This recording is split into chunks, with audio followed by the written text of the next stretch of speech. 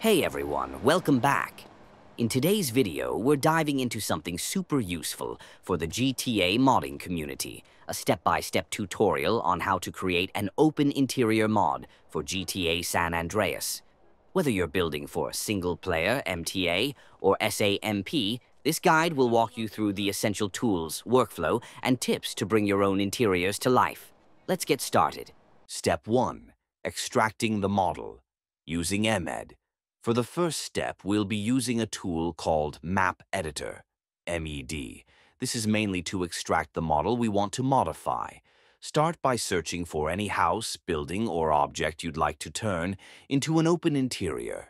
In my case, I'll be using a small trailer park, which I plan to transform into a custom interior. Once you've found your object, simply right-click and choose Extract, then save it into a specific folder. This will give you the DFF and TXD files, but keep in mind it won't include the COL, collision file. To find the corresponding COL file name, just right-click the object again in MED, and it will show you the exact name of the collision file you need to track down.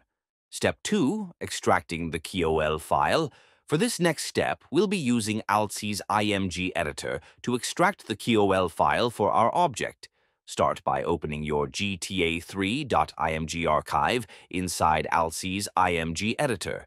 Then search for the COL file name you found earlier using MED. Once you locate it, simply right-click and extract it into your working folder. This gives us the full set of files we need, DFF, TXD, and COL to start building our open interior. Step 3. Importing the DFF into 3ds, Max. Now it's time to jump into 3ds, Max using Kam scripts to import the DFF file we extracted earlier. Make sure Kam's DFF importer is properly installed, then go ahead and import your DFF model into the scene. One important note, before importing, make sure you've set the correct path or format for your texture folder. This ensures your model loads with the right materials.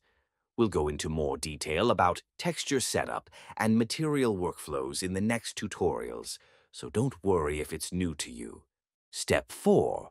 Modeling the interior. In this step, we're going to begin modeling the interior of our object. First, I start by detaching the windows and doors.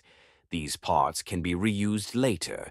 Next, I hide parts of the model to make it easier to work inside the mesh and create space to build.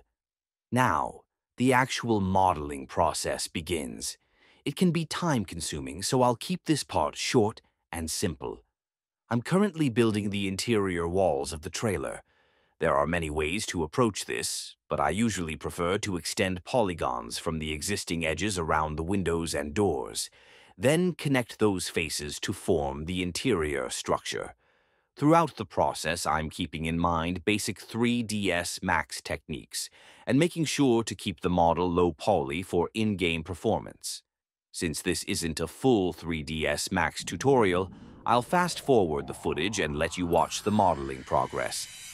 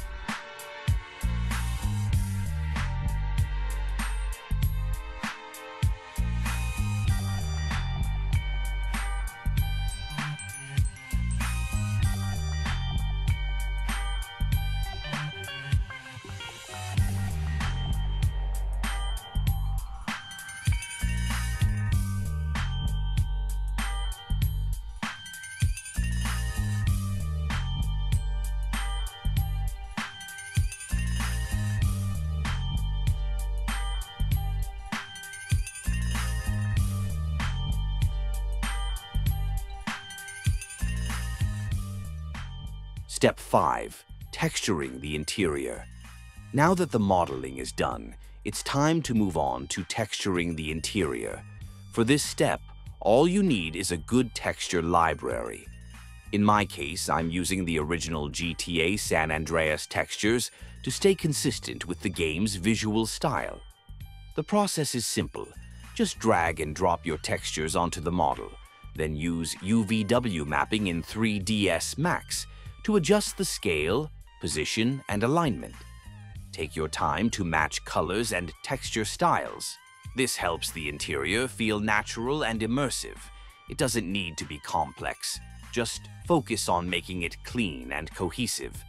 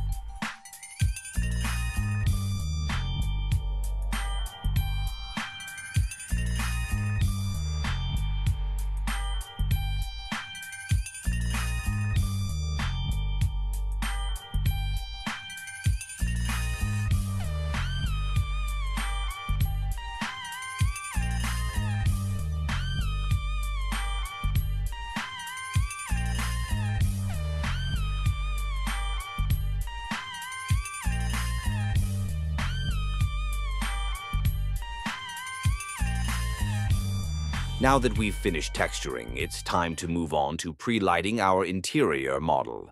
I'll be using a simple method for this. Start by selecting the vertices of the new geometry, then assign them pre-light values manually. For daylight, I use a value of 120. It gives a nice balanced light. For nighttime lighting, I usually set the value to 30 for a softer, dimmer look. And that's it. Once the pre-lighting is done, our model is fully prepared. Now it's time to move on to the exporting process. Step 7. Exporting the DFF and COL file. Now that pre-lighting is done, we're ready to export our model. First, make sure your interior is properly attached to the main model and that everything is fully textured without major issues. Next, using Kam's script, export the DFF file. Just a tip, don't overwrite the original model. Keep it as a backup in case you need to revert or reuse parts later. After exporting the DFF, keep a copy of your model in the scene and assign it a COL material using Kam's tools. Before exporting the COL file, increase the brightness of the surfaces. This makes the collision easier to spot and interact with in-game. This is just a simplified version of the collision file creation process, enough to get your mod functional for most uses. Step 8. Preparing our COL and TXD file. Our COL file is almost ready. In this final step, we'll be injecting our new collision into the original COL file. Start by opening the original COL file we exported earlier in the video using COL Editor. Now, delete the old collision entry that matches our model name and replace it with the new one we just created. Once that's done, our DFF and COL files are ready to go. As for the textures, we'll now add them to the TXD file using Magic.TXD. It's a quick and easy step. Just drag and drop your texture files into the TXD editor, save, and you're done.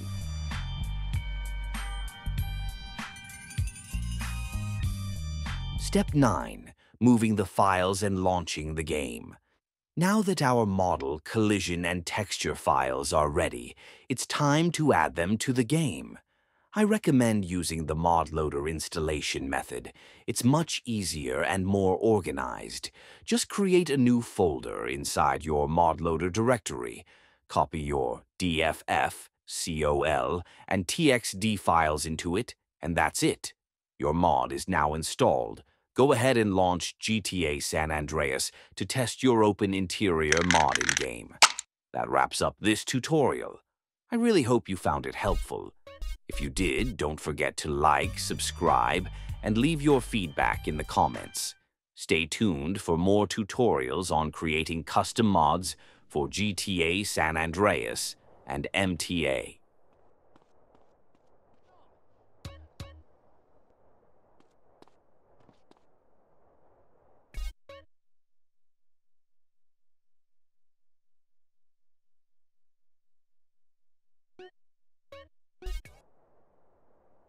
Oh, motherfucker! Oh, good looking, homie.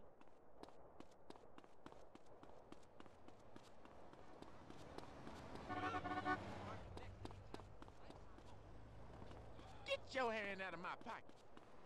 Oh,